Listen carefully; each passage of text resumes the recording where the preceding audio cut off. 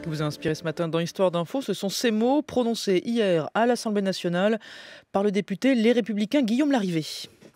Je propose que les clubs aient le pouvoir de mieux contrôler directement l'accès euh, à leur stade. C'est une proposition de loi pour les vrais supporters. C'est une proposition de loi contre les euh, hooligans. Donc lutter contre le hooliganisme, Thomas, en permettant au club de faire des listes de supporters interdits de stade. Le compteur ce matin est à moins 46 ans. Oui, on revient le 30 septembre 1970, match au retour du 32e de finale de la Coupe de l'UEFA entre l'Olympique de Marseille et l'équipe tchécoslovaque de Trnava. À l'issue des deux rencontres, les deux équipes sont à égalité. Pour la première fois de l'histoire, on ne tire pas au sort le vainqueur, mais on organise une séance de tir au but qui se termine plutôt mal au stade Vélodrome. C'est alors que des incidents éclataient au moment où les joueurs tchécoslovaques regagnaient les vestiaires.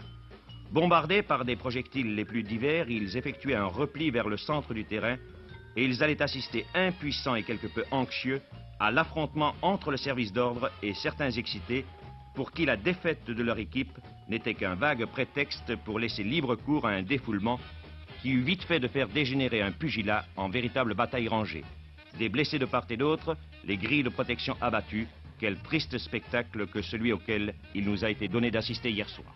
Voilà, et la petite musique derrière pour parler de pugilat, de sang et de coups, c'est intéressant. Ces scènes de violence ne sont pas uniques dans le football des années 70, mais rien n'est fait à l'époque pour interdire l'accès au stade de certains supporters et quelques barrières seulement les empêchent de pénétrer sur la pelouse. Et puis au fond, Thomas, le football français est plutôt à l'abri des débordements très graves qu'on voit dans les stades belges dans les stades anglais et notamment dans les années 80. Oui, mais tout va changer en France au début des années 1990 et comme aujourd'hui, d'abord autour du PSG, désormais à l'époque dans l'escarcelle de Canal+, qui doit améliorer absolument son image, une image désastreuse, ternie par quelques supporters ultra-violents à l'idéologie néo-nazie. Le 28 août 1993, jour de PSG camp au Parc des Princes, les Boulogne Boys, des supporters de Paris, s'en prennent avec une incroyable violence et sous les caméras de la télévision au CRS dans la tribune.